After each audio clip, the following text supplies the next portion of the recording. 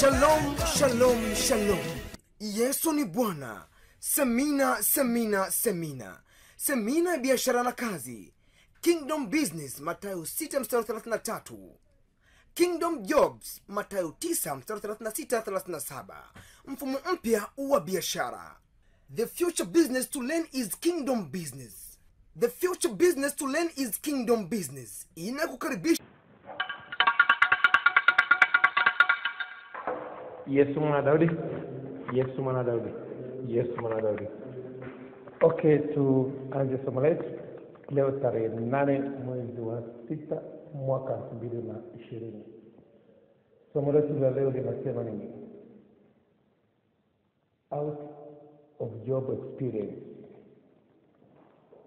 How to get a job. Jinsi gani unaweza kupata kazi. Jinsi gani unaweza kupata kazi. Nataka nikufundishe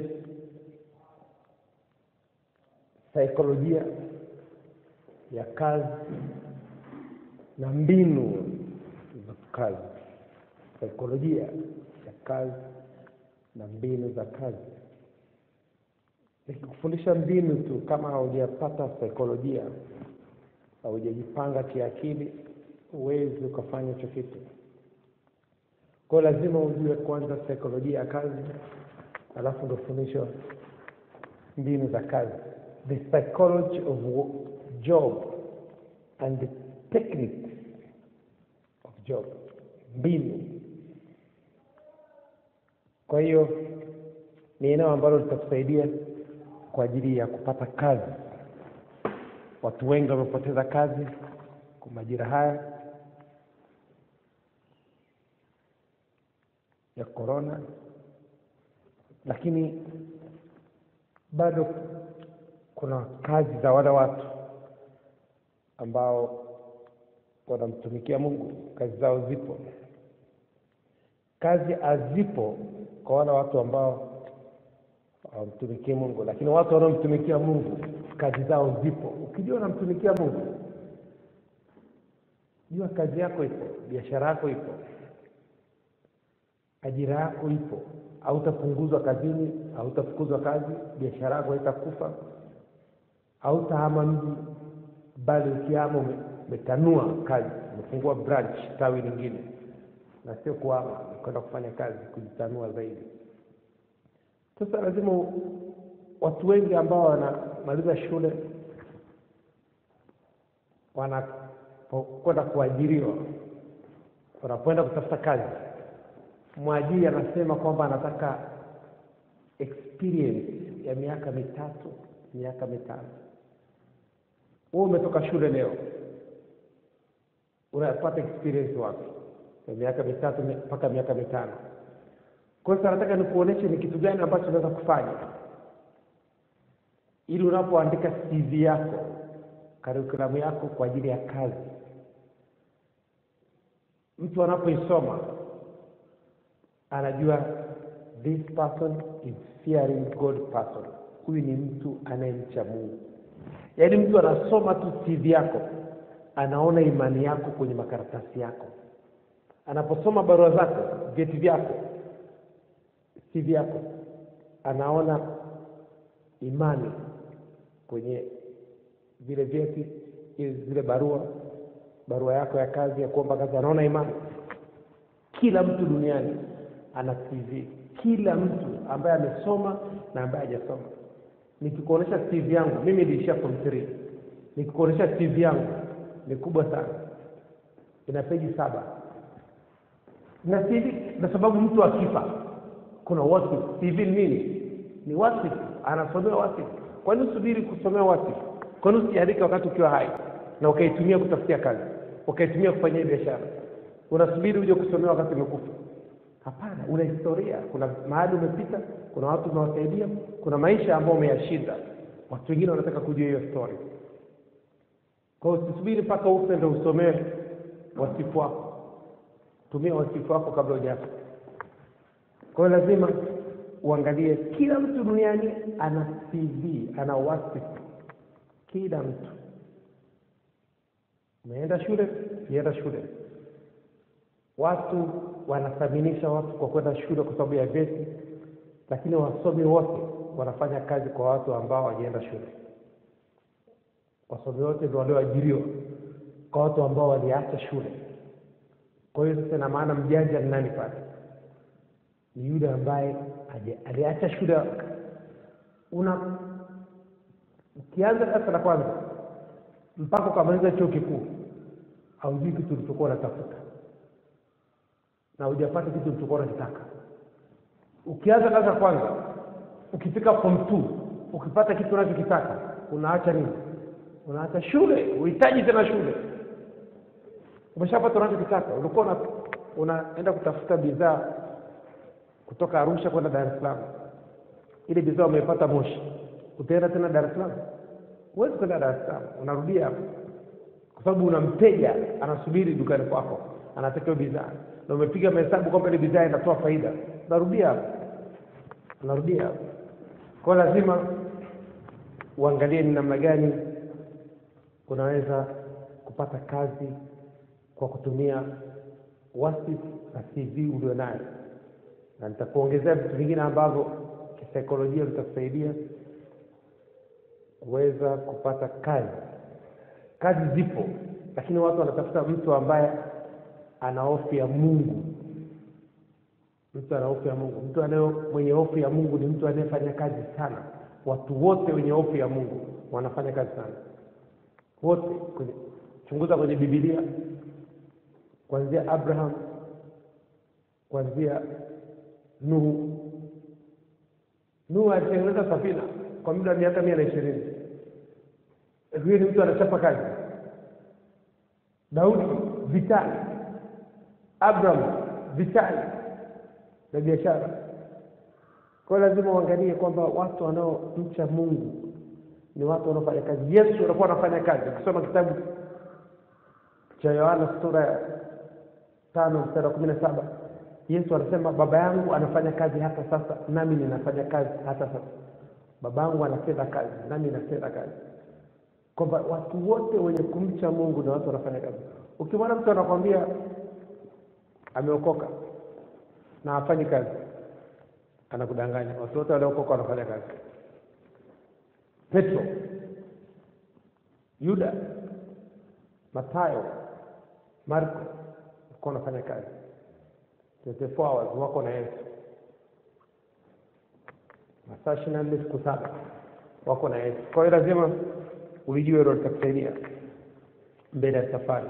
Tunachotaka tukiangalia siku ya leo namna gani unaweza kupata uzoefu nje ya kazi nje ya ajira? Unawezaje kupata uzoefu nje ya ajira? Kwamba haujaajiriwa lakini unapata uzoefu. Ili ukitoka hapo ukienda kutuma barua zako mahali popote kuomba kazi una kitu ambacho umekiandika kutokana na uzoefu uliopata wakati ukiwa nje ya ajira kupata uzoefu wakati ukiwa shuleni. Uko shuleni lakini unapata uzoefu wa kazi namna gani unafanya kitu kama hicho. Sio usubiri umalize shule. Ndio utafute cv unaanza kutafuta cv yako mapema. Unajua umeanza form 1 unaanza kutafuta cv ili ukimaliza ukitaka kuishia form 4 ukatafute kazi tayari una cv ya miaka minne. Ukitaka kufikia form, form 6 ndio uache shule. Tayari umeshapata cv ya miaka sita. Ukitaka kufika chuo kikuu ili uache kazi una cv ya miaka tisa. Na ule mwaka mmoja kujitolea kwa digrii ya kwanza ni miaka kumi na 10 years cv mtu akiangalia ile cv ya miaka kumi ulianza tangia form one anakupa kazi. Anaangalia experience ulionayo. Cv yako tu inatosha. Sasa wewe unasubiri umalize shule ukajitolee mwaka mmoja tena hiyo ni jeshini. Alafu ndio ukaombe kazi hawakupi kazi hawakupi kazi una uwezo wa kuanza cv yako ukiwa form one. Natengeneza cv yako ukiwa form one. Form one ni mtoto mwenye akili. Mtoto mwenye akili ana uwezo wa kujitambua akifundishwa. Watu wangu wanaangamizwa kwa kosa maarifa. Akifundishwa jinsi gani ya kutengeneza cv kazi ya muda ni kujiandaa kwa ajili ya fursa. Kazi ya cv ni kujiandaa kwa ajili ya fursa. Cv inampa mtu fursa wasifu wa mtu unampa mtu fursa mapema sana. Watu wanajua kwamba huyu mtu anafanyaje kazi fulani. Huyu mtu tangia akiwa mdogo anatunzaga mazingira. Huyu mtu tangia akiwa mdogo anapenda watu. Anakwenda kwa watoto yatima anasaidia kufua kupika kufanya usafi. Tangia akiwa mdogo watu wanaweza kusema na kuna picha zako zinaonyesha tangia ukiwa mdogo unaendaka kwenye hivyo vituo vya watoto yatima kuna kitu unafanyaga kwa sababu ukiangalia mtu yote anacheza mpira ana tv ameanza kucheza akiwa mdogo. Tv inatengenezwa ukiwa mdogo. Tv haitengenezwi ukiwa na umri mkubwa. Tv ni kama mchezo wa mpira. Mpira huwezi kucheza ukiwa na umri mkubwa. Mpira unaanza kucheza ukiwa mdogo. Ukishafikisha miaka ishiri na saba ndio mwisho wa kujifunza mpira. Miaka ishiri na saba ni mwisho wa kujifunza. Miaka miaka tisa tu. Ukifika thelathini na sita mwisho kucheza mpira. Baada ya hapo ukiingizwa kwenye mpira, kwenye timu unaingizwa wakati wa majeruhi. Unaingizwa kwa dakika chache tu na unatoka kwa sababu wewe ni mtu mzima wa mtu mzima. Kwa hiyo lazima uangalie kuanzia ukiwa mdogo unaanza kutengeneza CV yako ya jambo fulani ya kukusaidia mbele ya safari. Ndio pale yesu anasema nina ninawapa tumaini la siku zenu za baadaye tv inakupa tumaini ya siku zako za nini? Za baadaye kwamba utakuwa vizuri utakuwa vyema. Kila mahali ukienda utakuwa na kibali. Kila mahali ukienda utakuwa na kibali. Lakini kama unataka kutengeneza tv sasa hivi itachukua muda. Itachukua muda. Mimi nimejaribu kutengeneza tv ya kufundisha. Imetoa miaka kumi. Miaka mingapi? Ili niwe niweze kufundisha vizuri. Niweze kubadilisha watu wanavyofikiri. Zaidi ya vijana bilioni moja wako chini yangu hapo nabidi niwabadilishe. Kufikiri vizuri mpaka itakapofika mwaka elfu mbili na thelathini niwe nimeshabadilisha vijana bilioni moja duniani. Kwanza kutumikia mungu. Kwa hiyo sasa angalia unatafuta CV miaka kumi alafu miaka kumi ingine unaanza kufanya kazi. Sasa hiyo ni miaka ishirini. Kwa sababu nimechelewa kuanza. Kwamba unaanza mapema unaanza mapema. Kwa ufahamuo tutamshukuru mungu kwa dakika chache. Alafu tuendelee na somo letu linasema out of job experience. Jinsi gani unaweza kupata kazi? Jinsi gani ya kupata uzoefu nje ya kazi? Kwa ufahamuo tumshukuru mungu dakika moja. Baba jehova katika jina la uweza la yesu kristo wa nazareth. Baba jehova katika jina la uweza la yesu kristo wa nazareth. Baba jehova katika jina la uweza la yesu kristo wa nazareth mtakatifu mtakatifu mtakatifu mungu wa bwana wetu yesu kristo baba wa utukufu mungu wa abraham isaka na yakobo mungu wa wanafunzi wote wa kingdom business clubship duniani baba jehova tunasema asante. Mungu wa kila mtu mwenye pumzi kila mtu mwenye mwili na msifu bwana katika jina la uweza yesu kristo nazareth. Roho mtakatifu tunasema asante. Kwa majira ya saa tano tunayafurahia na kuyashangilia katika jina la yesu kristo nazareth tunabariki majira ya saa tano na kuyatakasa kwa damu ya kristo nazareth. Tunabariki majira ya saa tano na nuru ya kristo afya ya kristo utajiri wa kristo. Tunabariki majira ya saa tano na hekima ya kristo ufahamu wa kristo maarifa ya kristo mafunuo ya kristo ujuzi wa kristo ubunifu wa kristo. Tunabariki majira ya saa tano na upendo wa kristo imani ya kristo matumaini ya kristo. Tubariki majira ya saa tano na uaminifu wa kristo amani ya kristo furaha ya kristo katika jina la Yesu kristo nazareth tunafungua malango ya satano kwa damu ya kristo nazareth.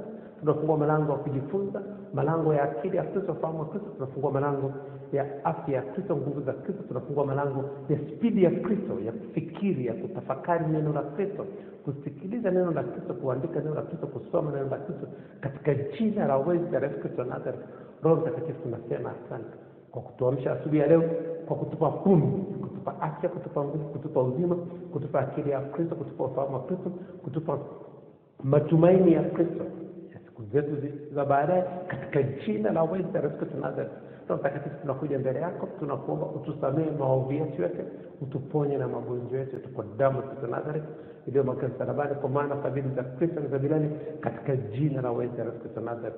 Roho Mtakatifu tunasema asante kwa kujibu maombi yetu tunaamini na tumepokea katika jina la uweza Yesu Kristo Nazareth. Tunakaribisha katika majira ya saa tano uwe mwalimu wetu tufundishe njia zako utuonyeshe njia zako. Karibu na mtakatifu. Katika jina la uweza yesu kristo wa nazareth tumeomba na kushukuru. Haleluya. Amen. Okay sherehe za somo letu. Jinsi gani unaweza kupata kazi?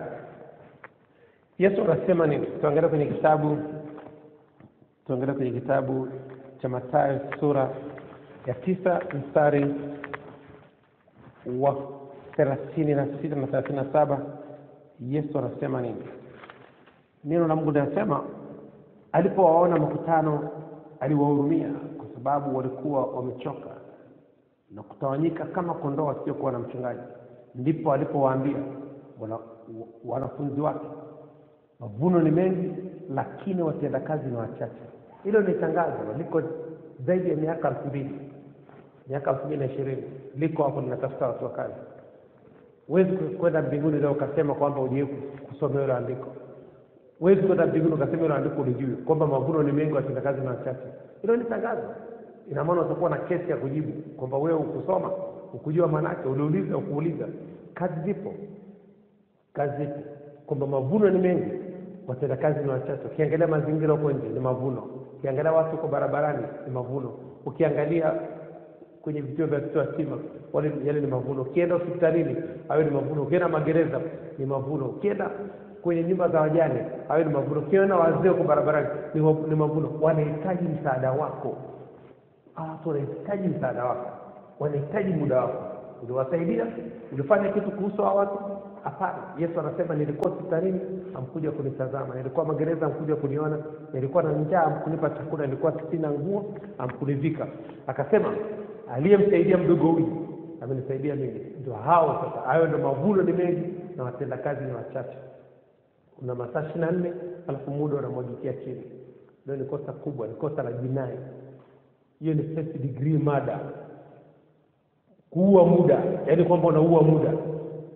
Mtu anakwambia kill time.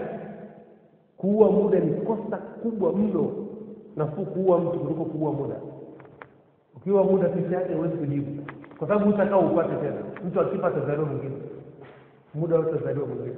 Muda ukishapita umepita. Kwa hiyo lazima uangalie namna gani unaweza ukatumia muda wako na sifa moja kubwa ya muda unakufa haraka sana. Na ukishakufa urudi tena. Urudi tena. Ukipoteza pesa utapata nyingine. Akifa mtu atazaliwa mwingine. Akifa mtoto atazaliwa mwingine. Akifa mtu utaoa mwingine. Akifa mume utaolewa na utaolewa tena hivyo vitu vinajirudia na pesa inajirudia lakini muda hujirudii kwa sababu leo hii huwezi kuniambia viatu vyako ulikuwa unavaa ukiwa na miaka mitano unaweza kuvaa leo. Unaweza? Huwezi kuvaa. Ndio maana muda umepita. Muda umeshapita. Na sababu paulo alisema kwenye kitabu cha wakorinto wa kwanza wakorinto wa kwanza sura ya kumi na tatu mstari wa kumi na moja wakorinto wa kwanza kumi na tatu mstari wa kumi na moja.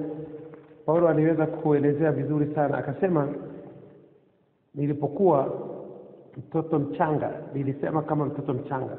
Nilifahamu kama mtoto mchanga. Nilifikiri kama mtoto mchanga. Tokea hapo nilipokuwa mtu mzima niliyabatilisha mambo ya kitoto. Hakuwezi tena kuongea mambo ya kitoto. Muda umeshapita.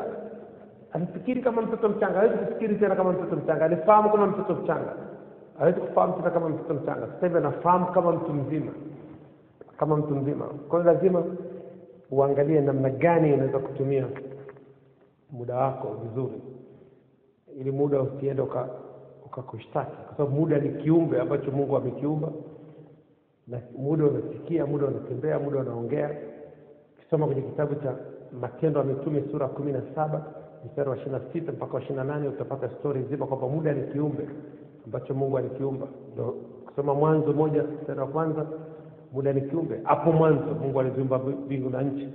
Muda una pande mbili. Una mwanzo na mwisho. Una alfa na omega. Kwa hiyo lazima ujue muda una pande mbili. Kwa hiyo namna gani unaweza kutengeneza uzoefu wa kazi ukiwa shuleni ukiwa nje ya shule ukatengeneza uzoefu wa kazi ukatengeneza uzoefu wa kazi hata kama hujasoma ili upate kazi. Ili upate kazi. Neno la mungu liko wazi kabisa linasema kwenye zaburi zaburi ya ishiri na nne. Nataka tu hii zaburi ya ishiri na nne iwe nguzo yako kwenye maisha yako. Anayepanga kazi ni mungu. Zaburi ya ishiri na nne inasema nchi na vyote vijazavyo ni mali ya bwana. Dunia na wote wakaao ndani yake. Kila kitu ni mali ya mungu kwamba sasa swali ni kwamba lazima ujue kitu kimoja kwamba kila kitu ni mali ya mungu. Biashara yote unayeona huku duniani ni mali ya mungu. Yule mtu unayemwona kwenye ile biashara ni msimamizi ni wakili wa mungu. Anasimamia. Ndio sababu akifa mzazi yote tajiri na watoto ni wadogo. Mtoto ni mdogo wakili anasimamia ana, anaangalia ile mali mpaka mtoto atakapofikisha miaka kumi na nane amkabidhi mali zake. Wakili ndio anasimamia ile mali. Na ndivyo hivyo mungu amekutumia wewe hapa duniani kama wakili kusimamia kampuni kusimamia huduma kusimamia biashara kusimamia ndoa nyumba watoto mke. Wewe ni wakili wa mungu. Kuhakikisha ile familia inakula na mungu anatukuzwa kwenye hiyo familia. Umepewa hiyo nafasi ya kusimamia kwa hiyo namna gani unaweza kutengeneza wasifu wako ukiwa nje ya shule ukiwa ndani ya shule ukatengeneza cv yako ukiwa ndani ya shule na nje ya shule na ukiwa hata kama hujasoma. Kitu ambacho unaweza kukifanya eneo la kwanza kabisa ambalo unaweza kulitumia kutengeneza cv yako ni nyumba yako nyumba ya ibada. Kila mtu ana dhehebu. Kila mtu ana dhehebu na wale ambao wana madhehebu nitawaambia ni sehemu gani wanaweza kutengeneza cv kwa hiyo kwa upande wa kanisa upande wa kanisa cha kwanza kabisa chochote anachokisema mchungaji mchungaji anapokuambia anaposema mchungaji kazi yake ni kukufundisha wewe jinsi gani ya kwenda kupata kazi jinsi gani ya kujiajiri mwenyewe. Anakufundisha kwenye maeneo mawili upate kazi ufanye kazi ya mtu kwa uaminifu ili mungu akupangie kazi yako mwenyewe. Na mchungaji anapokuambia uende ukafanye uinjilisti nenda kwa sababu unatengeneza cv unapokwenda kufanya uinjilisti kumwambia mtu habari ya kristo na ukampeleka mtu kwenye lile kanisa hiyo ni cv umetengeneza unachokifanya unatembea na daftari lako unaandika jina la kila mtu ambaye umeongea naye habari ya kristo umechukua namba yake ya simu unaongea na mtu mwingine unaongea na mtu mwingine. Na swala sio lazima aje kanisani kwako anaweza kwenda kanisa lingine lolote lakini hakikisha umeongea naye umechukua namba yake ya simu. Unakuwa unawasiliana naye kwenye ujumbe. Unaanza kutengeneza cv unaanza kutengeneza cv sasa kitu kinachotokea kama wewe ni mtu wa marketing unaenda kutafuta kazi kwa ajili ya masoko kwenye kampuni yote ukimwonyesha tajiri yoyote majina na namba za simu za watu ulioongea nao uliowapeleka kwenye ile kanisa uliowapeleka kwenye makanisa mbalimbali wanakupa kazi wanajua huyu mtu ana uzoefu wa kuongea na watu? Kama ameweza kufanya kanisa ambayo alipo analipo kwa imani anaweza kufanya ya kwangu. Hiyo inatosha kabisa kukupa ajira. Inatosha kukupa ajira. Kwa hiyo lazima na kupitia hiyo ni eneo moja kwamba una uwezo wa kuongea na watu. Una uwezo wa kuongea na watu. Una uwezo wa kwenda kuongea na watu. Kazi ya marketing kutafuta wateja una uwezo ni kuongea na watu kutafuta watu ambao watakubaliana na wazo lako na imani yako wakusikiliza wakufata wa kufata na kuuza bidhaa ni watu ambao watakubaliana na wazo lako na imani yako wakusikiliza wakufata wa kufata ni kitu hicho hicho. Sasa kama umeweza kufanya ya kanisa una uwezo kufanya ya kampuni yoyote. Kwa sababu formula ni hiyo hiyo.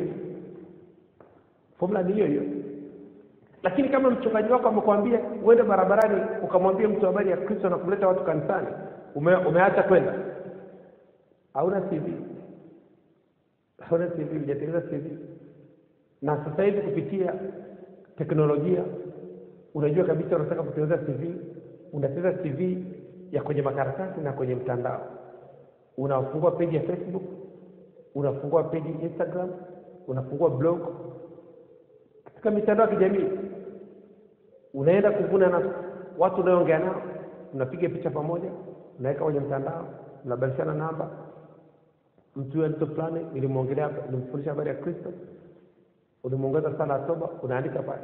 Sasa mtu unapoenda kuomba kazi mahali siku hizi watu wanakwenda kwenye mitandao ya kijamii.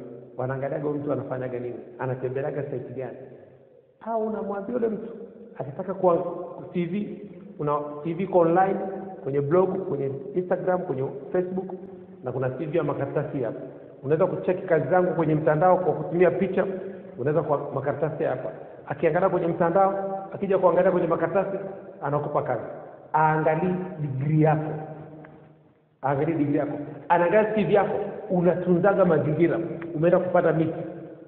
Ume, unafagia huko barabarani. Unachimba mashimo ya taka. Unasafisha mitaro. Anaona CV na aidha umesoma hujasoma. Anakuangalia unafanya zile kazi za kijamii. Yuko tayari kukupa kazi. Anakuona kwa watoto yatima unafua unawapikia unawafanyia usafi. Wanaangalia zile zile picha. Ni mtu huyu ambaye amekuja kuomba kazi hapa. Kama anaweza kufanya kazi kama hizi tunampa kazi. Una picha. Lazima upige picha na picha inasema picha moja inaongea maneno zaidi ya elfu moja. Kwa picha inaongea sana. Sasa unakuta hauna cv ya picha au una cv ya maneno. Unaomba kazi. Wakiangalia wanasema hatuna nafasi ya kupa. Na ile cv yako kwa sababu umemtumikia mungu. Mungu anasababisha yule mtu mwenye kampuni akupe kazi. Haijalishi ni kazi gani unaomba. Wakiangalia kile kitu anasema huyu hata kama ana hiyo elimu tutamfundisha tumpe kazi. Atajifunza kazi akiwa ndani ya kampuni yetu.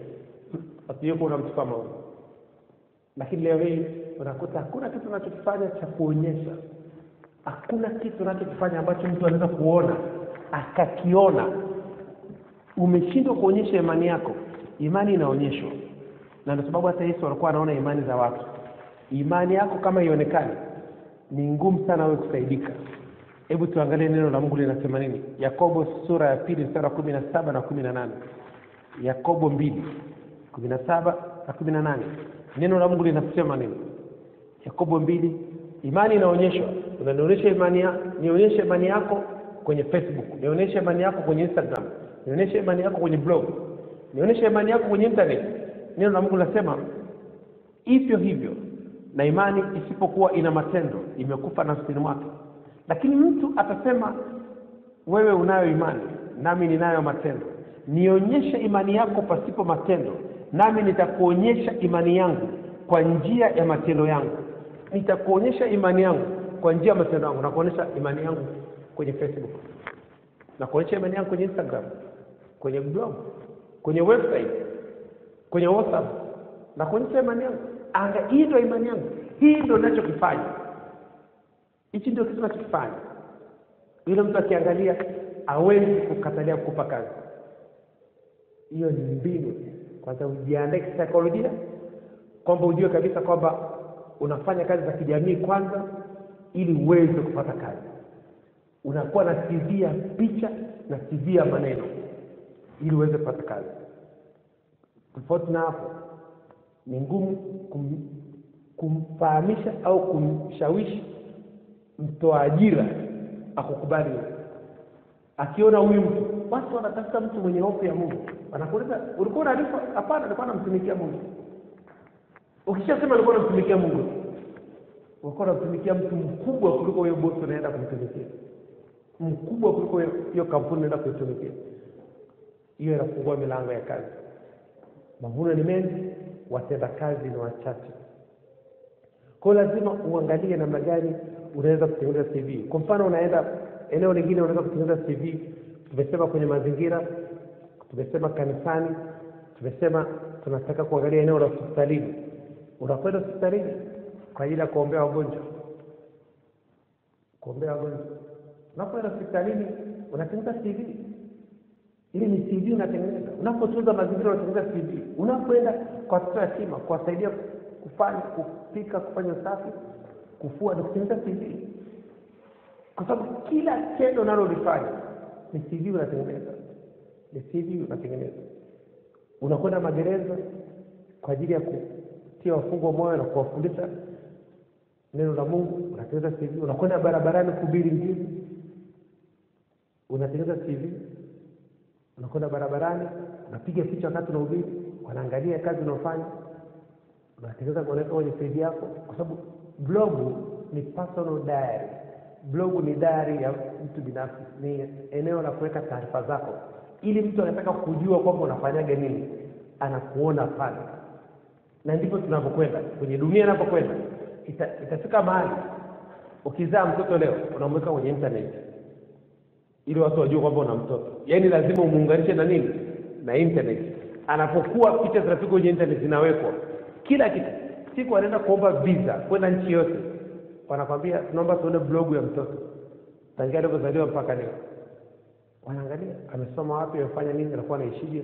Ndivyo tutakapokwenda watu tutakuwa wanaangalia pictures na video za mtu kwenye maisha yake. Lakini leo hii kama hauna weki historia na record ni ngumu watu wanaweka rekodi siku ya kifa mtu? Wanachukua video na siku ya harusi. Siku ya birthday kidogo. Lakini sehemu nyingine hawachukui rekodi inabidi uchukue rekodi mahali popote. Hata kati unateseka unachukua rekodi kwa sababu hiyo ni shuhuda. Itakuja kusaidia mtu mwingine. Kwa sababu wewe ni tajiri wa kesho. Na tajiri wa kesho lazima awe na nini? Na shuhuda. Awe na shuhuda. Awe na kitu. Kuna mahali alipita. Kuna mahali pagumu alipita kwenye maisha. Ili aweze kusaidia mtu mwingine ambaye anapita kwenye mazingira kama yale. Kwa hiyo lazima ujitahidi uweze kutengeneza cv kwa ajili ya kazi. Kwa ajili ya kazi. Na ukiwa na unakwenda una kwenye kanisa lolote lile ambalo linafundisha bible study masomo ya Biblia, wanatoa vyeti. Vile vyeti vya kanisani vina nguvu sana kupata kazi. Vile vyeti vina mimi sinaga vyeti vya shule na vyeti vya kanisani vya bible study. Vile vyeti ni vya, vya chuo kikuu cha mbinguni. Vina nguvu kuliko chuo kikuu cha harvard university. Vile ni vyeti vya chuo kikuu cha mbinguni. Ile neno la mungu limefundishwa pale.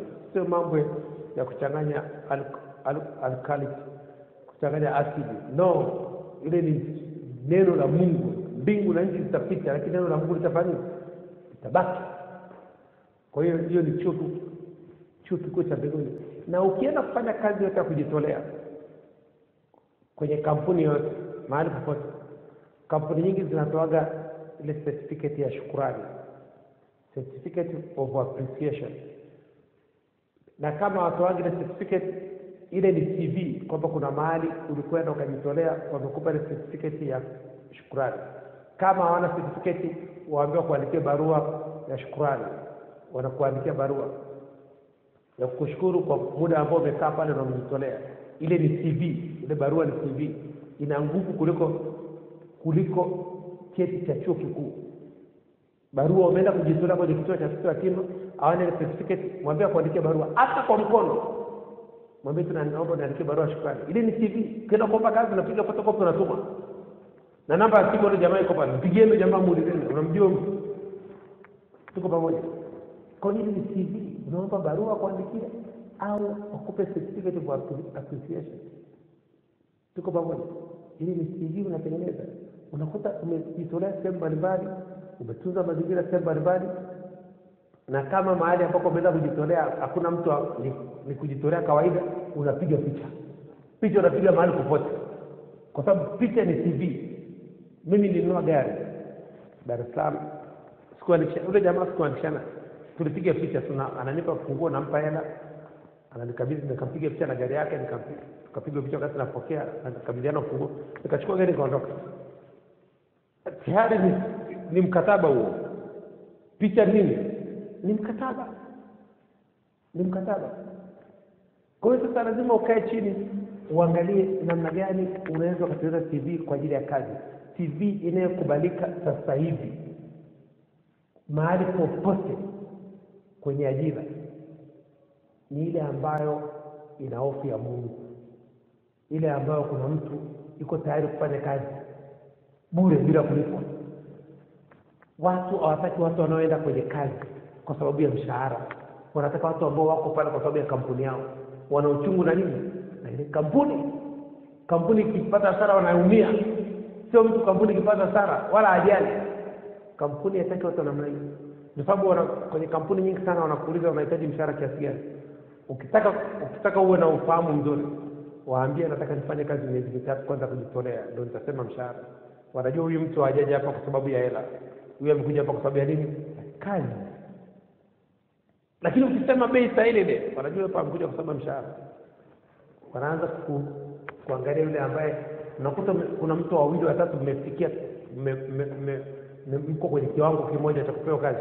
Wanakutafutia neno moja kidogo dogo la kunyima kazi kwenye eneo la mshahara. Yule anayesema kwanza atajitolea kwanza ndio nijue uzito wa kazi ndio niseme bei wanampa kazi. Otherwise na wakikulazimisha sana unaambia nipeni mwezi mmoja tunifanye kazi. Tawaambia kama mtaki sija hapa kwa sababu ya mshahara. Nataka niangalie uzito wa kazi mazingira na kusema naweza ku- kulipwa shilingi ngapi. Wakikataa wambia sitaki kazi yenu wanakwambia tunakutaka wewe. Basi lazima uwe na ujasiri wa kujiamini. Usiende mahali kwa sababu ya uoga. Usiende mahali kwa sababu una uhitaji sana wa kazi. Kuna mtu anahitaji kazi mpaka anatetemeka. Wanajua huyu mtu mazingira kama haya. Asimtaki mtu kama huyu. Ina maana hata akija watu matapeli hapa watamtapeli akija watu kumtishatishia hapa watatoa siri za kampuni. Kwa hiyo nataka mtu mwenye ujasiri. Kwa hiyo lazima uangalie namna gani unaweza ukatengeneza cv kwa ajili ukiwa nje ya kazi au nje ya shule. Na jaribu kuweka imani yako kazini. Kuweka imani, imani yako kazini. Kuweka imani kazini unapoweka imani kazini unatengeneza cv ya muda. Cv ya muda. Ukitengeneza wasifu wa muda siku zote unapoenda kuomba kazi mahali popote lazima uwe na wasifu wa muda. Yaani wewe masaa yako ishiri na nne unayatumiaje? Haya masaa ishiri na nne unayatumiaje Unaweza kuandika cv yako kwa muda ukaambatanisha na barua jinsi unavyotumia masaa yako ishiri na nne. Ukaweka cv yako ya muda kwenye mtandao kwenye kwenye page yako ya facebook. Jinsi unavyotumia muda wako. Unapewa kazi? Kila mtu anakupa kazi. Na siku yote unapoenda kuomba kazi mahali unapoenda kwenye interview unapoenda kuongea na mtu watu wote ambao wamejipanga. Wanaandika vitu ambavyo wanaenda kuongea. Wanaenda na dari kalamu na dari atembea na dari unaandika vitu ambavyo unaenda kuongea. Unaandika maswali ambayo utauliza kampuni unasoma na ule bosi akiwa anaongea na wewe unaandika kila kitu. Anajua kabisa huyu ndio mtu naye unayemhitaji. Wasomi wengi wakienda kuomba kazi hawana dari tunaenda mikono mitupu ameshika smartphone mkononi ameshika simu mkononi. Mtu akija kuomba kazi kwangu ameshika simu mkononi namfukuza. Una dari una kitabu umeshika cha kusoma. Unakuwa na dari na kitabu cha kusoma. Kama umekuta bosi hayupo unachukua kufungua kitabu chako unaanza kusoma. Bosi yuko na mtu mwingine anamhudumia unachukua kitabu unaanza kusoma. Na uruhusiwi kuongea na mtu yote uliyemkuta kwenye ile ofisi. Tofauti na kumsalimia na kunyamaza kimya uruhusiwi kuongea na mtu yote ujui unayeongea naye ni nani. Labda wote mnagomba- mnatafutiwa nafasi moja ya kazi. Alafu wakiona mnaongea wawili inaonekana kama mnafahamiana. Inaweza kupotezea kazi au ikawapotezea watu wawili kazi.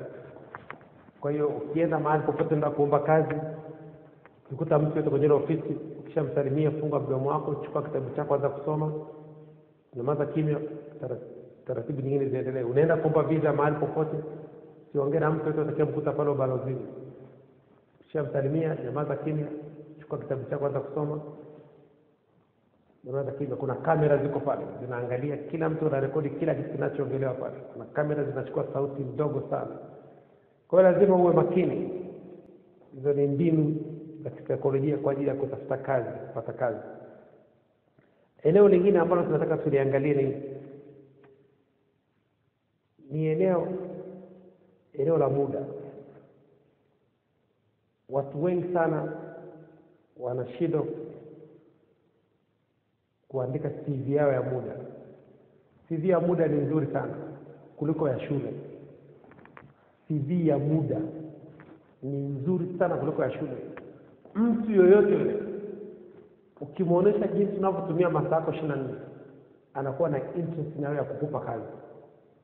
Mtu yoyote yule ukimwambia kuanzia saa saa moja asubuhi mpaka saa kumi na mbili jioni unafanyaga nini, na saa kumi na mbili jioni mpaka saa kumi na mbili asubuhi unafanyaga nini, akiangalia tu ile tv vile vitu ulivyoandika tu anakupa kazi.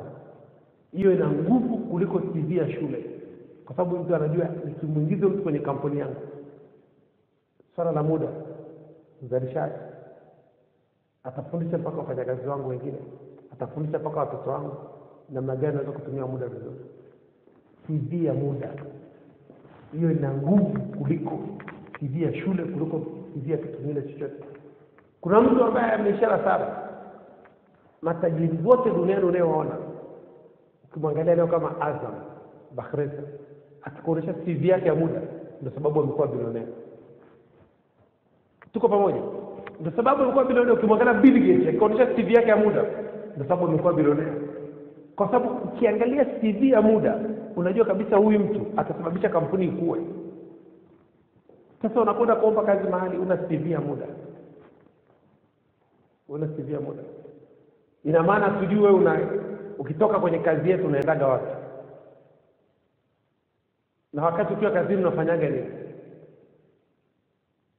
Hatujui kwamba uki- tukija hapa tutakuja kufanya nini kwenye kazi yetu kwamba lazima ya muda, kwa sababu muda time tells, muda unaongea. Paulo alisema kwamba nilipokuwa mtoto mchanga nilifikiri kama mtoto mchanga, nilifahamu kama mtoto mchanga, niliongea kama mtoto mchanga. Nilipokuwa mtu mzima nilibatilisha mambo ya mtoto, kwamba lazima uhakikishe kwamba unatengeneza CV yako ya muda, CV yako ya muda, jinsi gani unavyotumia masaa yako ishirini na nne na kwenye dari unaweza kutumia dari mbili. Kuna dari dari ina masaa kumi na moja mstari mmoja wa chini unaongeza saa la kumi na mbili unakuwa na dari ya mchana na dari ya usiku. Lakini kama una uwezo tumia tumia kaunta buku ya kawaida, unaweka mistari yako vizuri, unaandika tengeneza kama dari, unaandika kile kitu unachokifanya mchana, masaa kumi na mbili ya mchana na masaa kumi na mbili ya usiku. Hicho ni kitu ambacho Mungu alimwambia Joshua. Joshua moja Joshua moja sura ya nane. Mungu anamwambia Joshua ni Anamwambia Joshua, kitabu hiki cha Torati kisiondoke kinywani mwako, bali yatafakari maneno yake mchana na usiku, masaa kumi na mbili ya mchana, masaa kumi na mbili ya usiku, upate kuangalia na kutenda sawasawa na maneno yote yaliyoandikwa humo, maana ndipo atakapoifanikisha njia yako, kisha ndipo atakapostawi sana. Zaburi ya kwanza mstari wa kwanza mpaka watatu. Neno la Mungu linasema, heri mtu yule asiyekwenda katika shauri la wasio haki, wala kusimama katika njia ya wakosaji, wala kuketi barazani pa wenye mizaa, bali sheria ya Bwana ndiyo impendezayo, sheria yake uitafakari mchana na usiku, naye atakuwa kama mti uliopandwa kando kando ya vijito vya maji, uzao matunda yake kwa majira yake, wala jani lake linyauki, na kila alitendalo litafanikiwa. Kila alitendalo litafanikiwa, usiku na mchana. Lazima uwe anamwambia tafakari usiku na mchana, katende sasa na maneno yote yaliyoandikwa huko, utende mchana, utende usiku, kwamba lazima uwe na dari. Mwanaume analala masaa matatu. Mwanaume. Kama Biblia anasema mke mwema huamka mapema saa kumi na moja saa mapema. Ina maana kama mwanamke anaamka saa kumi na moja mwanaume anatakiwa amke saa ngapi? Saa tisa. Mwanaume anatakiwa amke saa tisa. Kwa mwanaume anatakiwa alale masaa matatu. Mwanaume anatakiwa apumzike, mwanamke alale. Mwanaume anapumzika. Mungu alipoumba mbingu na nchi siku ya saba alipumzika, kulala. Kwa hiyo lazima ujitahidi kutengeneza CV yako kwa ajili ya kazi, alafu jaribu ku, kufanya kitu ambacho kitamvutia Mungu akupe ajira. fanya kitu ambacho kitamvutia mungu akupe biashara. Akupe biashara. Wakati yesu aliita wale watumwa wake kumi akawapa mafungu kumi ya fedha akawaambia fanyeni biashara mpaka nitakapokuja. Wale watu walikuwa aliwaona aliwapima walipewa kutokana na kiwango cha ufahamu wao sasa na wewe lazima upewe kitu kutokana na kiwango cha ufahamu wako. Kwa hiyo lazima uweke imani yako kazini. Uweke imani yako kazini. Tofauti na hapo ni ngumu. Yakobo sura ya kwanza mstari wa ishirini na saba neno la mungu linasema nini tengeneza cv tengeneza cv yakobo moja ishiri na saba neno la mungu linasema dini iliyo safi isiyo nataka mbele za mungu baba ni hii kwenda kuwatazama yatima na wajane katika dhiki dhiki yao na kujilinda katika dunia pasipo mawaa. Kwenda ina maana kwamba kwenda kuwatazama yatima na wajane. Yesu anasema enendeni ulimwenguni mote mkahubiri injili mkawafanya mataifa yote kuwa wanafunzi wangu mkawabatize katika jina la baba na mwana na roho mtakatifu. Swali ni kwamba una umri gani? Na wewe ni mkristo? Umebatiza watu wangapi? Ni watu wangapi umeshawahi kuwapeleka kanisani? Ni watu wangapi? Umeshawahi kuambia habari ya kristo? Umeshawahi kubatiza watu wangapi? Leo mwanaume kitendo cha mwanaume kufa na hajawahi kubatiza mtu hata mmoja kuna kesi ya kujibu. Kila mwanaume unayemwona mimi sitaki niongelee swala la wanawake nataka niongelee wanaume. Wanafunzi wa yesu wote walikuwa ni wanaume. Kwa nini hakuchukua wanawake? Wanawake wana sehemu yao kusapoti maono ya waume zao lakini kila mwanaume lazima amtumikie mungu. Mwanamke anasapoti maono ya mume wake. Ukiona mume wake anamtumikia mungu naye anamtumikia mungu mwanamke anatakiwa mtumikie mume wake na mume wake amtumikie mungu. Full stop. Mwanamke amtumikie mume wake ili ampe mume wake nguvu ya kumtumikia mungu. Kwamba kitendo cha mwanamke kumtumikia mume wake ni thawabu kubwa sana kwa mungu kwa sababu anamsababisha yule mwanaume aweze kumtumikia mungu. Ni kama kitendo cha joshua kumtumikia musa. Ilisababisha musa apate nguvu kubwa sana kumtumikia mungu. Joshua akuwa mtumishi wa mungu alikuwa mtumishi wa musa elisha hakuwa mtumishi wa mungu alikuwa mtumishi wa Elia, kwamba kuna mtu ambaye inabidi umtumikie ili ule mtu aweze kumtumikia mungu. Unapata baraka kupitia nguvu unazomtumikia ule mtu. Kuna mtumishi wa mungu kwenye kanisa tulilotoka. Ni askofu mkubwa sana na askofu msaidizi. Anasema kila siku yeye aliletwa kwenye ile huduma amtumikie ule askofu mwenye maono. Akuletwa pale kumtumikia mungu aliletwa pale kumtumikia ule askofu. Na yule jamani ni askofu mkubwa duniani kwa nini? Kwa sababu alikuwa iko anamtumikia askofu ambaye anamtumikia mungu. Kwa hiyo lazima uangalie. Unaweza kukutana na mtu anayemtumikia mungu. Kaa chini yake mtumikie. Ili aweze kumtumikia mungu vizuri. Baraka zako zinakuja. Nyingi.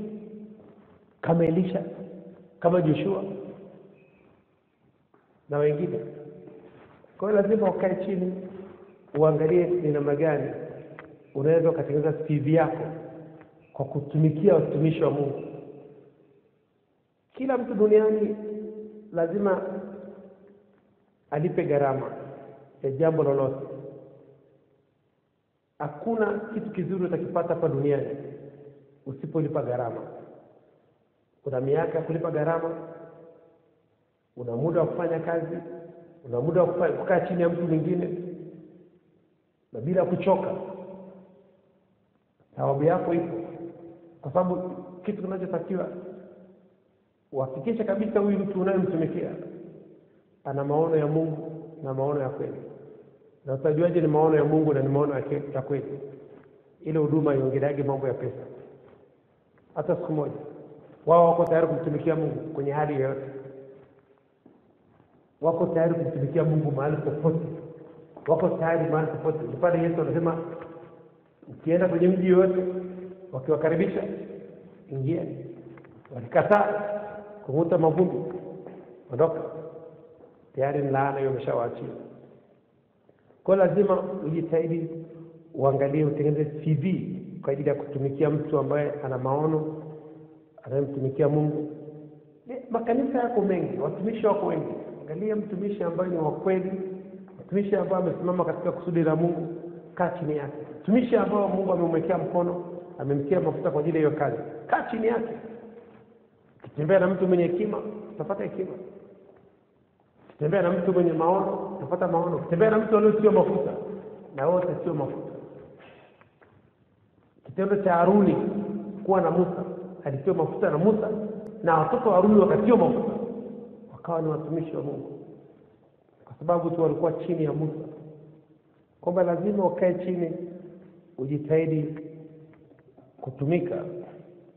Na nataka nikuambia tu kitu kingine ukiangalia watu wote wanaofanya kazi za kijamii watu wote wenye NGOs wenye NGO mbalimbali za kulea watoto yatima za kulea wazee za watoto walemavu watoto wa mtaani.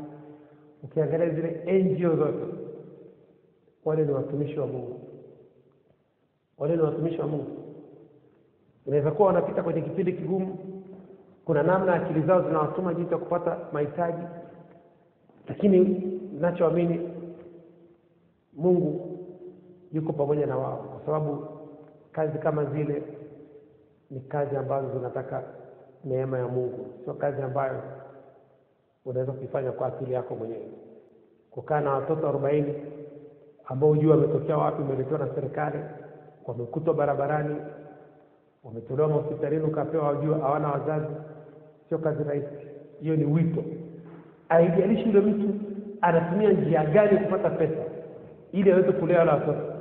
Swali ni kwamba ile kazi ni ya wito. Mtu wa kawaida tu hata kama una pesa huwezi kufanya ile kazi. Mpaka watu wenye pesa nyingi sana wanaweza kufanya kazi kama hiyo. Kuna wasifungue vitu vya sasa tu wakawasaidia ile ni ya wito ni wito. Kwa hiyo unapoweza kuwa chini ya mtu kama huyo ukamsaidia kazi kwa moyo wako wote utapata thawabu yako. Kwa sababu usikubali kukaa bila kazi tengeneza cv tengeneza jina kwa kufanya kazi fulani kutunza mazingira tengeneza cv ya kusaidia watu tengeneza cv kwa sababu sasa hivi kilichobaki ni jina. Kwa sababu cv ndio inayotengeneza jina lako leo mimi nafundisha kila siku tunahubiri barabarani tunashauri watu hatuchukui pesa ya mtu. Tunatengeneza cv na tumetoa miaka kumi ya kutengeneza cv nitoa miaka mitatu barabarani kuongea masaa nane kila siku nikamaliza. Hiyo ni cv hiyo ni cv ambayo iko duniani na iko mbinguni. Kuna cv ziko duniani mbinguni hazipo. Kwa sababu yesu alisema usi, usi, usione mapepo anawatii mkafurahi. Furahini kama majina yenu- yameandikwa wapi? Mbinguni kwenye kitabu cha uzima. Kuna watu na tv hapa duniani. Kubwa wengine ni marais lakini mbinguni hazipo. Na tv hapa duniani. Wengine ni mawaziri wengine ni watumishi wa mungu wengine ni wafanyabiashara wakubwa tu. Wana tv hapa duniani. Ukipita mahali watu wanasimama. Wanajua ni fulani lakini mbinguni ile TV haipo kwa nini tunasema hiyo cv haipo? Jina lake kule mbinguni alijaandikwa jina lako likiandikwa mbinguni na cv yako inatokea. Ni kama leo unamuuliza mtu jina lako nani? Unaenda pale nida. Kina nida ukitoa jina lako cv yako inatokea. Kwamba unaishi wapi umetokea wapi unaitwa nani umezaliwa wapi ni mtanzania una miaka mingapi? Cv yako inatokea. Na mbinguni ni hivyo hivyo, jina lishaandikwa kule. Kwa sababu watu ambao majina yao yako mbinguni wakiingia kwenye maombi wakisema kitu mbingu inatingishika mbingu inasema huyu ni fulani. Huyu ni fulani. Anahitaji nini? Malaika wanatumwa kuja kuhudumia angalia jina la yesu likuwa limeandikwa mbinguni kwa sababu lilitoka mbinguni. Popata changamoto tu aliposhinda malaika walishuka kwa ajili ya kumsaidia. Abraham baada ya jina lake kuandikwa mbinguni akawa anasaidiwa na mungu kwa sababu mungu alimbadilisha jina. Petro jina lake lilipoandikwa mbinguni mungu malaika wakawa anamhudumia kwamba jina lako linapoandikwa mbinguni tayari umeshatengeneza cv kwa hiyo lazima ujitahidi unapofanya kazi za kijamii zinasababisha jina lako liandikwe mbinguni. Kitakachosababisha jina lako liandikwe mbinguni ni pale utakapogusa maisha ya mtu mwingine utakapotunza mazingira utakapoenda kwa watoto yatima utakapoenda kwa wajane kwa wazee utakapoenda magereza kusaidia wafungwa utakapoenda mtaani utakapoenda sehemu ambazo watu wanauhitaji, jina lako linaandikwa mbinguni. Utafuteni bali utafuteni kwanza ufalme wake na haki yake na mengine yote mtazidishiwa tafuta ufalme wa mungu wanajua huyu ni wa kwetu. Jina lako linaandikwa mbinguni. Kwamba jitahidi sana una masaa ishiri na nne ya kuhakikisha jina lako linaandikwa mbinguni. Jina lako likishaandikwa kule utaona vitu vinakuwa virahisi. Kila kitu utakachoshika kitafanikiwa. Kila kitu kitakachoshika utakachoshika kitafanikiwa. Na ukumbuke una masaa ishiri na nne utumie muda wako vizuri. Kwa sababu utakachoulizwa ulitumiaje muda wako ukiwa duniani hilo jambo la msingi ambalo litakuja kwenye hukumu yako. Kitu kingine chunga unachoongea chunga unachoangalia chunga unachokifanya tofauti na hapo kuna kesi ya kujibu. Bado dakika nne tumalize. Bado dakika nne tumalize. Na tulisema kazi ya muda ni kuhakiki kwamba unafanya kitu fulani. Kama unamtumikia mungu lazima ionekane kazi yako kwenye muda wako. Kama unamtumikia mungu kazi yako itaonekana kwenye muda wako. Kama unatumikia pesa kazi yako itaonekana kwenye muda wako. Kile unachokitumikia kazi yako itaonekana kwenye muda wako. Kwa sababu muda ndio unaandika rekodi ya mtu.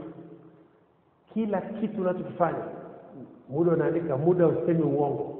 Muda unachukua picha unachukua video unachukua sauti unachukua kila hatua unayopiga muda unachukua unachukua rekodi yako. Kwa hiyo muda ausemi uongo na ukienda marekani utaukuta ukienda china utaukuta ukienda nchi yote duniani utaukuta muda huko kwamba lazima ujue kabisa kwamba muda wako ndio utakaye hakikisha huyu mtu alikuwa anafanyaga nini akiwa duniani. Alikuwa anakaa vijiweni kwa sababu zaburi ya kwanza inasema eli mtu yule asiye kwenda katika shauri la wakosaji lazima ujue kabisa na kukaa barazani kwa watu wenye mizaa ujue muda wako una rekodi historia ya maisha yako. Muda wako una rekodi historia ya maisha yako. Angalia muda wako usije ukawa adui yako. Kwa sababu utakapotumia muda wako vibaya utakuwa adui yako. Kwa sababu muda usemi uongo. Utauchukia muda bure ni wewe ukutumia vizuri muda unakuja kila siku asubuhi unapewa masaa ishiri na nne sekunde elfu themanini na sita na mia nne. Zitumie vizuri. Zitumie vizuri. Zitumie vizuri. Tumalizie somo letu la leo bado dakika tatu. Somo letu la leo linasema ni kupata uzoefu nje ya kazi out of job experience. Tumejaribu kuelezea namna gani unaweza kupata uzoefu nje ya kazi wakati haujaajiriwa lakini ukienda kwenye ajira wanakuambia tunataka mtu mwenye uzoefu wa miaka mitatu miaka mitano. Sasa lazima ujitahidi unapoingia shuleni mapema ukiwa form one anza kutengeneza cv uzoefu. Aidha unatunza mazingira katika maeneo ya shule unaendaga kwa watoto yatima una likizo unaenda kujitolea kwenye vituo vya watoto likizo unaendaga kufanya kitu fulani ambacho unatengeneza cv na kule shuleni unafanyaga nini? Kwa sababu shuleni una muda. Shuleni sio muda wote unasoma. Unatunza mazingira kule shuleni unahakikisha choo cha shule ni kisafi madarasa ni masafi nyumba za walimu ni safi ofisi, za walimu ni safi. Unatengeneza shuhuda unatengeneza cv unahakikisha kabisa unafundisha na wengine namna gani ya kutunza mazingira. Unatengeneza cv na ukifanya hivyo hakika utakuwa namba moja na utafanya vizuri sana utaishia kutengeneza kivitu, tu utaishia kutengeneza maisha yako pia. Kwa hiyo lazima ujitahidi ujue kabisa kwamba unaweza kutengeneza cv ukiwa nje ya shule na ukiwa ndani ya shule ukiwa nje ya ajira ukatengeneza CV kwa kuenda kujitolea, na nimesema kwamba kila kitu unachokifanya dokumenti, andika na uchukue picha, andika uchukue picha, uwe hiyo ndio CV. CV ni maandishi na picha na namba. Kuna miaka mingapi umefanya kazi hiyo, miaka mingapi ume, ume unaonekana picha ukifanya hizo kazi na maneno ambayo yanaonekana, barua ambazo umepewa za shukurani kwa matukio ambayo umeyafanya. Uliza barua, omba barua, usiombe hela, usiombe nini, omba barua. Barua ina nguvu kuliko pesa. Barua itakupeleka mbali sana, barua itakupeleka mbali sana, barua itakutengenezea mazingira. Yule mama Mkenya alikuwa anatunza mazingira, ni barua na za appreciation ambazo alizopewa na watu. Zilisababisha huyu mtu akafanya kitu fulani. Leo hii ukaweka barua mia tatu kwenye mtandao, sehemu ambazo umejitolea, unaitwa saa hiyo unaitwa kwenye kazi, barua mia tatu. Za kushukurani. Umejitolea hapa wakakuandikia barua, ukajitolea hapa wakakuandikia barua, weka kwenye mtandao, onyesha hizo barua zako jinsi gani, alafu sema unatafuta kazi. Makampuni makubwa unakuita saa hiyo, sio barua moja, barua mia tatu sehemu mia tatu imejitolea lazima wakuite kwa maana kufanya kitu ambacho kitashangaza watu, kitashangaza watu. Asema huyo amejitolea kwenye kampuni, kwenye kampuni miezi mitatu, wiki moja, wiki mbili, kwenye kampuni siku moja, siku tatu, hivyo hivyo. Unaambia mimi naomba nijitolee kwenu, nachohitaji niandike barua ya shukrani. Unaenda kwenye kampuni yote, naomba kujitolea, nachohitaji sinipe hela yote, nipe barua ya shukrani. Hiyo barua ita- itakuja kutoa mahali. Ni kweli unakusanya hizo barua za kujitolea. Unaenda kwenye kituo cha watoto yatima, unaomba, unaomba kujitolea, unawafulia watoto na kupika, unaomba barua ya shukurani, wanakuandikia, unachukua, kuandikia kwa mkono, kuandikia kwa, kwa typewriter, kwa kompyuta, yote ni sawa. Ya mkono ina nguvu zaidi, kwa lazima ujitahidi, kwa sababu ya mkono ni ushahidi, ni haki ya yule mwenye kituo, sio kompyuta. Mtu aseme kwamba huyu mtu ame amefeki, waambia kuandikia kwa mkono, hata wastahili akuandikia mistari miwili natosha. Weka kwenye mtandao, kusanya barua zako hamsini, barua zako thelathini, weka kwenye mtandao. Kiomba kazi unapata kazi saa hiyo, wanakutafuta saa hiyo, wanasema huyu tunataka huyu mtu. Na kujitolea sio siku nyingi, kuna kujitolea kuanzia siku tatu mpaka wiki moja mpaka miezi mitatu mpaka siku tisini. Wewe ndio utachagua kwamba unajitolea kwa muda gani. Kwa hiyo hakikisha unafanya unatekeleza uzoefu ukiwa nje ya kazi, ukiwa nje ya shule, una uwezo kutengeneza uzoefu. Ukiwa ndani ya shule, unaweza kutengeneza uzoefu. Tuko pamoja, watu wa Mungu. Ni eneo ambalo nasikia ulifanyia kazi. Yesu anasema si ninyi ndio nichagua mimi, bali ni mimi niliyowachagua ninyi, ili muende mkazae matunda na matunda yenu apate kukaa, apate kuonekana, ili lolote mliopata kwa Baba kwa jina langu hawapeni. Sasa umezaa matunda gani? Zile CV ndo matunda yako uliozaa, zile barua ambazo umeandikiwa sehemu mbalimbali, hayo ndo matunda uliozaa. Tumeomba Mungu kazi mahali popote, anakupa kazi. Unaweza kupewa kazi ya mtu ambaye amesoma sana na elimu yako iko chini, wakasema tutamfundisha. Mungu anamwambia huyo mtu mchukueni, mumfundishe. Mungu anamwambia Yesu, mchukue Petro mfundishe, mchukue Yuda mfundishe, mchukue Mathayo mfundishe. Ndio sababu unasikia wanaitwa wanafunzi wa Yesu, na wote itwa mwanafunzi wa ile kampuni, kwamba kuwa mwanafunzi wa kampuni inawezekana, kuwa mwanafunzi wa huduma inawezekana, kuwa mwanafunzi wa Yesu inawezekana. Inawezekana kwamba wale watu watakufundisha kile kitu wanachokifanya. Yesu alifundisha wanafunzi wake kile kitu alichokuwa anakifanya alafu akawaambia nendeni mkafundisha na watu wengine dunia nzima, kwamba lazima utengeneze CV kwanza ukiwa ndani ya kazi, nje ya kazi. Una masaa na nne ya kutengeneza CV, una masaa na nne. Usikae vijiweni, usikae kwenye smartphone muda wote, usikae kwenye TV, kwenye magazeti, usikae nyumbani. Nenda kafanye kitu, na masaa ishirini na nne. Usikubali muda wako ukamwagikia chini bure. Nenda kafanye kitu, nenda mahali kajitolee, nenda kajitolee. Ufalme wa Mungu unapatikana kwa nguvu, na wenye nguvu ndio wanafanya nini? Wanauteka. Lazima utumie nguvu.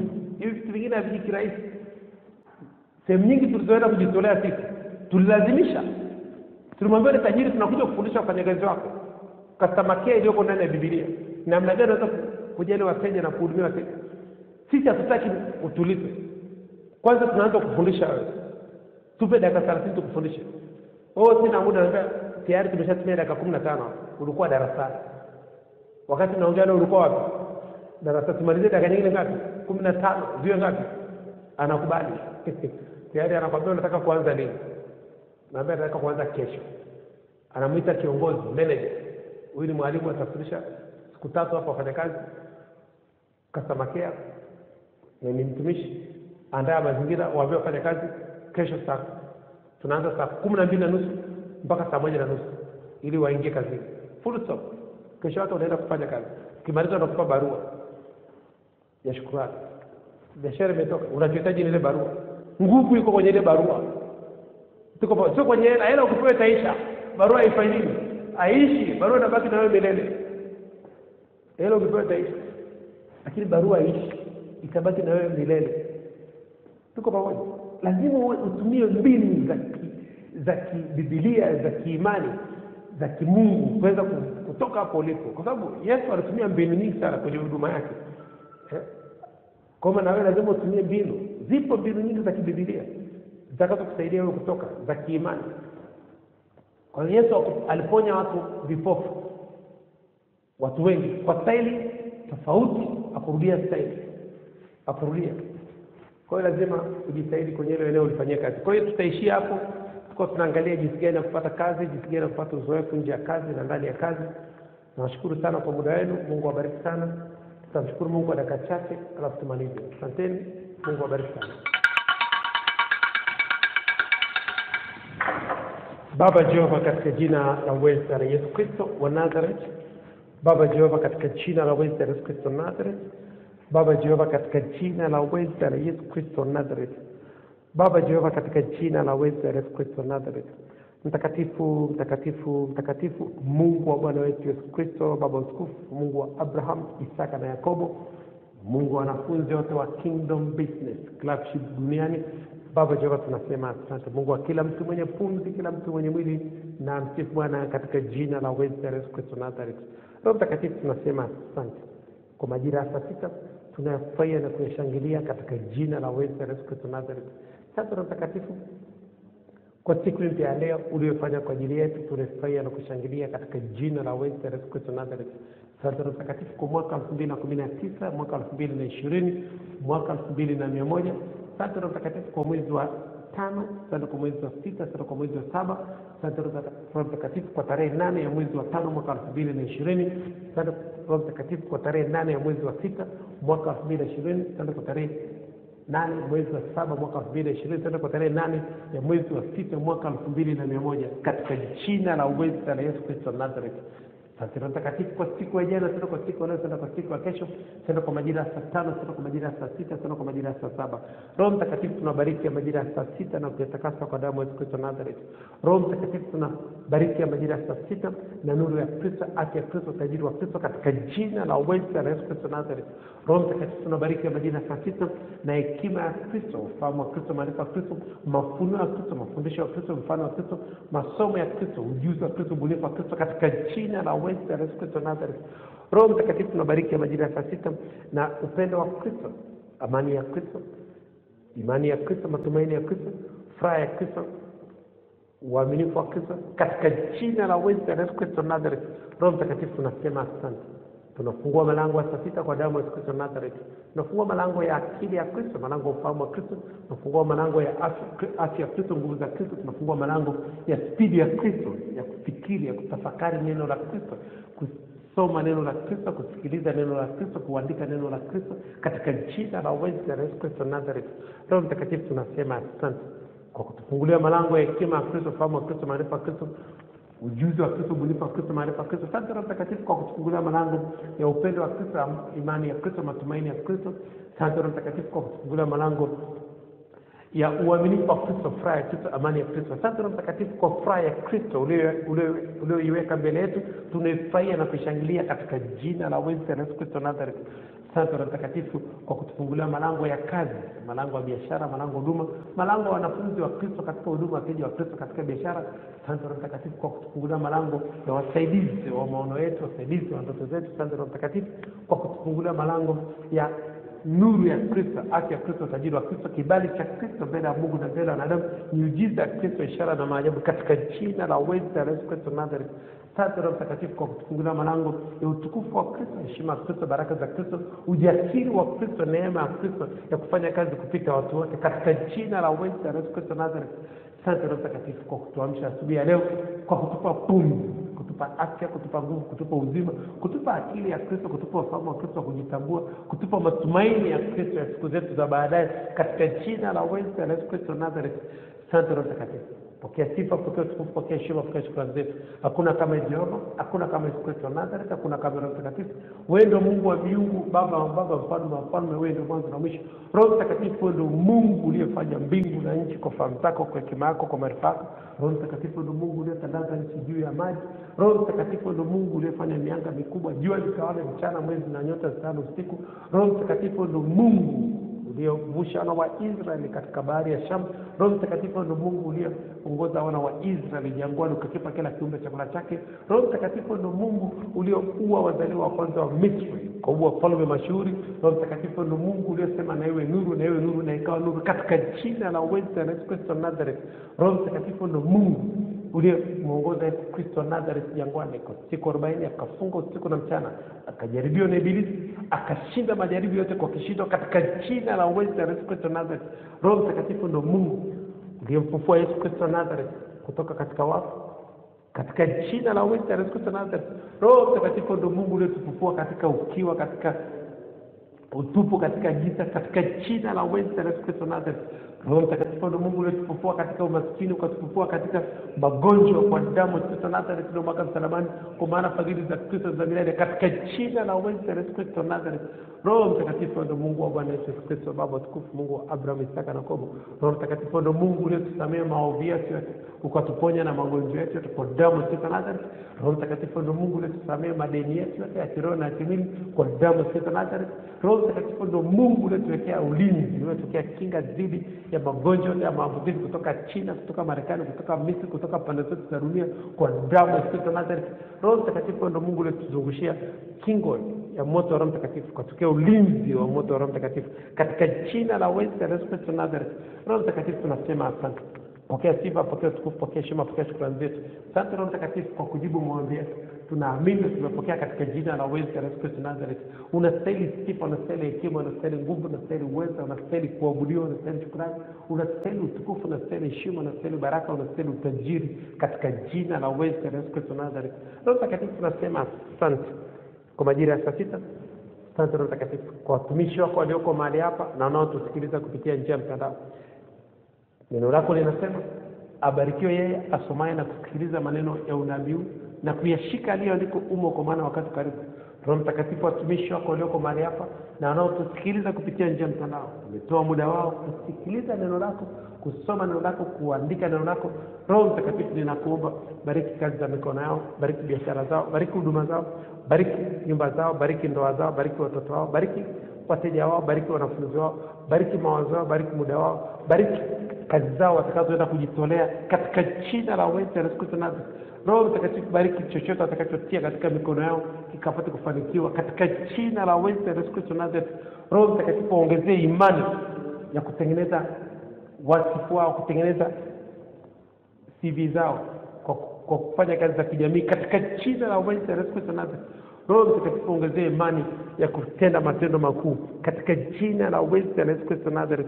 Roho Mtakatifu, tunasema asante kwa kujibu maombi yetu, tunaamini na tumepokea katika jina la Yesu la Yesu Kristo Nazareth. Roho Mtakatifu, tunakaribisha katika majira ya saa sita, uwe mwalimu wetu katika vipindi vinavyoendelea. Tufundishe njia zako, tuonyeshe njia zako, utupe akili ya Kristo, tupate akili ya Kristo, tupe akili ya Kristo, tupate ufahamu wa Kristo, utupe akili ya Kristo ya kutengeneza CV nje ya kazi nje ya shule katika china la Nazareth utupe akili ya Kristo tupate akili ya Kristo ya kutafuta ufalme wa Mungu na haki yake na mengine yote tutazidishiwa. Utupe akili ya Kristo tupate akili ya Kristo ya kukomboa wakati kwa maana zamani hizi ni za uovu. Katika china la Nazareth utupe akili ya Kristo tupate akili ya Kristo ya kumtumikia Mungu kufanya kazi ya Yesu, kazi ya Adam na kazi ya Injili katika jina la Yesu Kristo Nazareth. Roho Mtakatifu, tunasema asante. Pokea sifa, pokea utukufu, pokea heshima, pokea shukrani zetu. Asante Roho Mtakatifu kwa kujibu maombi yetu, tunaamini na tunapokea katika jina la Yesu Kristo Nazareth. Tumeomba na kushukuru, haleluya, amen. Tunaenda kwenye sala ya toba, dakika moja, tunasema Yesu mwana wa Daudi mara tatu. Nikisema jina langu mbili, mwisho unasema jina lako. Turudia maneno, Yesu mwana wa Daudi, Yesu mwana wa Daudi, Yesu mwana wa Daudi.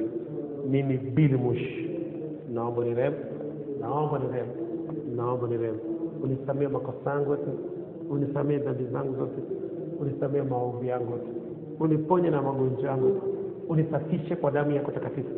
Kuanzia leo nina akili, nimekuwa kiumbe kipya, ya kale yamepita. Futa jina langu. Kwenye kitabu cha mauti, andika jina langu. Kwenye kitabu cha uzima. Asante Mungu kwa kunipenda. Asante Yesu Kristo Nazareth kwa kuniokoa. Asante Roho Mtakatifu kwa kunifundisha. Asante malaika Mungu kwa kunilinda katika jina la Yesu la Yesu Kristo wa Nazareth. Haleluya, amen. Tarudia maneno nikisema jina langu bila mwisho, nasema jina lako. Hakika miujiza ya Kristo, ishara na maajabu itanifuata mimi bila mwisho siku zote za maisha yangu, nami nitakaa nyumbani mwa Bwana milele na milele. Haleluya, amen. Katika na muda tumia muda kibiashara. Asanteni, Mungu awabariki sana.